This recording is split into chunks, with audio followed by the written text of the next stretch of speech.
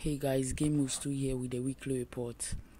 First off, a new patch for Deus Ex Mankind Divided has been released for PC.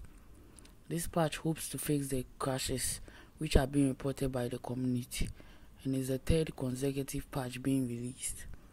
The update will be applied by Steam automatically when you start the game. The patch notes will be available in the description. Secondly, Duke Nukem 3D 20th Anniversary Edition World Tour has been announced and will launch on October 11th.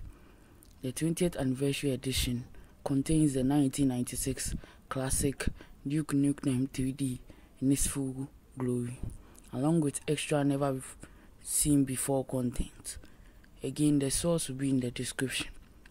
Also, Ark Survival Evolved will now provide support for NVIDIA Ansel.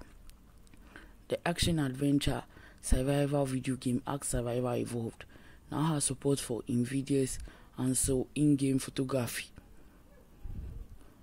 Also, No Man's Sky has gotten its biggest patch.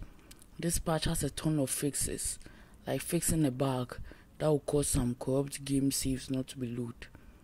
All these and more will be in the description.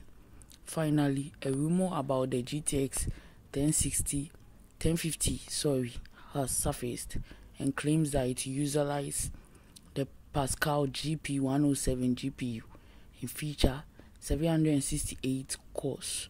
Since this is a rumor, please take it with a grain of salt. All the sources for this week's articles will be in the description. That's all for this week. Subscribe for more next week.